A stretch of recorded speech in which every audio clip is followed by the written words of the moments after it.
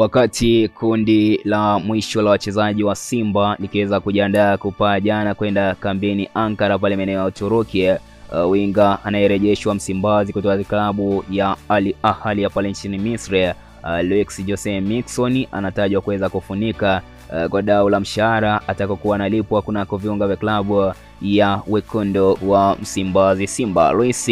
aliyeuzwa na Simba misimu miwili iliyopita katika klabu ya Al Ahly, inaelezwa kwamba dili lake limeweza kukamilika la kuweza kurudi tena katika klabu hiyo, huku ikielezwa kwamba ameweza kuwekewa fedha za maana za usajili uh, sambamba na mshahara atakokuwa akilipwa akiweza kuwafunika wachezaji wengine kunako kikosi hicho. Uh, ndio kwa sasa ni rasmi kwamba Luis aliyeuzwa na Simba uh, misimu miwili baada ya kuweza kufanya makubwa aliposajiliwa kutoka klabu ya UD Songo ya pale nchini Msumbiji. Ataweza kuvaa uzi mwekundu na mweupe wa mnyama kama aliyokuwa akivaa katika klabu ya Al Ahly uh, baada ya klabu yake sasa kuweza kufikia makubaliano ya kuweza kuvunja mkataba na winga huyo. Moja chombo cha habari hapa nchini ambalo ndilo lilikuwa la kwanza kuweza kuripoti kurudi kwa staa huyo e, kabla ya klabu yake kuweza kuthibitisha kuweza kuvunja mkataba, liweza kuwajulisha jana kwamba dili hilo uh, lilikuwa limeweza kufikia patamu, na jana imeweza kujiridhisha kwamba mchezaji huyo atacheza Simba msimu ujao. Hapo nazungumzia msimu 2023 2024, baada ya kuweza kukamilisha uh, kila kitu ili kurudi uh, kunako viunga vya klabu ya Simba Sport Club. Taarifa za kuaminika kutoka ndani ya Simba zinadai kwamba winga huyo ndiye atakayekuwa mchezaji anayelipwa pesa nyingi zaidi, kwani dili lake uh, ni dola laki moja na ishirini zaidi ya shilingi uh, milioni 240 huku akivuta mshahara wa shilingi milioni 34 kwa mwezi, na mabosi wa Simba wameweza kuthibitisha kwamba tayari wameweza kumpa Luis mkataba wa miaka miwili na anatarajiwa kuweza kuungana na kocha uh, Roberto Oliveira mwenye wakijiita Robertinho si pamoja na wenzake uh, kambini pale maeneo ya Uturuki, na mmoja wa vigogo wa Simba uh, jina liliweza kuhifadhiwa, aliweza kukiambia chombo hicho kwamba uh, winga huyo hatima yake ni wiki hii, lengo likiwa ni kuona timu hiyo inafikia malengo ndani na nje kwenye mashindano inayoshiriki. Luis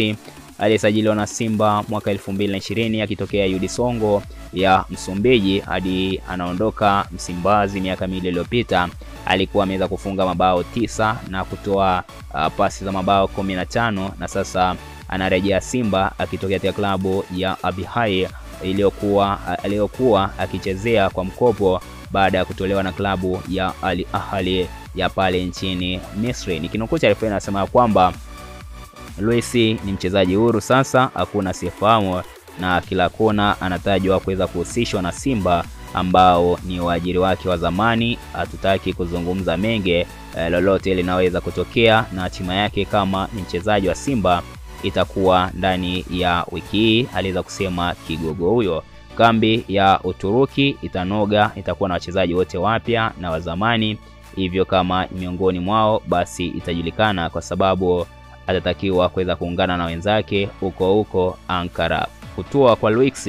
eh, kunaifanya Simba inaweza kuongeza nguvu eneo la mbele ambalo tayari lina maingizo mawili mapya akiwemo Aubin Kram kutoka klabu ya Asis Mimosasa Ivory Coast, uh, Willy Esomba Onana aliyekuwa anakipiga kunako klabu ya Rayon Sport Club ya pale nchini Rwanda, na of course tuliweza kuona nyota mwingine akitambulishwa kunako kikosi hicho uh, Fabrice Ngoma aliyekuwa anakipiga katika klabu ya Al Hilali ya pale nchini Sudani. Mbali na hao, Simba kikosini ina Kibu Dennis, Peter Banda, Moses Fire, uh, John Boko, Saidon Tibanzokiza na Pape Osman Sako aliyombioni kuweza kuondoka uh, kwenda pale nchini Ufaransa. Katika hatua nyingine uh, Simba imeweza kumnasa mrisi wa Jonas Mkude baada ya kuweza kunasa saini ya kiungo Mtanzania aliyekuwa katika klabu ya Tusker ya pale nchini Kenya, Hamisi Abdalla. Simba ambao katika nafasi ya kiungo wanawazao wawili uh, Mudhamir Yasin na Nasr Kapama,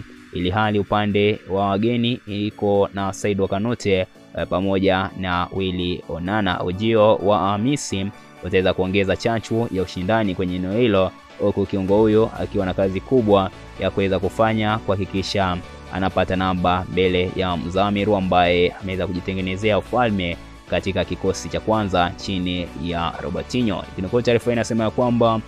usajili wa kiungo huyo ni mapendekezo ya kocha ambaye aliomba kila nafasi kuwa na wachezaji wawili ili kuweza kuwa na kikosi e, cha ushindani, na tayari mchezaji huyo ameweza kukamilisha usajili na atakuwa miongoni mwa wachezaji watakaoweza kutumika Simba msimu ujao. Tunaamini ongezeko lake litakuwa na chachu ya ushindani, kilisema chanzo hicho ambacho akikutaka jina lake liweze kutajwa kunako moja ya chombo cha habari, lakini chombo hicho kimeweza kujithibitishia kuwa usajili e, upande wa zawa umeweza kukamilika kwa mujibu wa ripoti ambayo ilikuwa inahitaji wachezaji watatu ambao hadi sasa wameweza kukamilika. Wachezaji wa zawa waliweza kusajiliwa dirisha hili la usajili ni mshambuliaji Shaban Chilonda, Hussein Bakari ambaye ni beki wa kati na Amis katika nafasi ya kiungo, huku mwenyekiti wa bodi ya wakurugenzi wa Simba Solomon Mdala almaarufu kama Trayageni kwenye mazungumzo ya hivi karibuni alisema kwamba bado anaendelea kufanya usajili mzuri na bado kuna na vifaa vingine vitatambulishwa hivi karibuni. Wachezaji wapya wanaendelea kuwasili kambini na kukumbusha tu hatujamaliza kusajili, uh, furaha zaidi itakuja hivi karibuni, alisema try again. Na wakumbusha tu hatujamaliza kusajili, furaha zaidi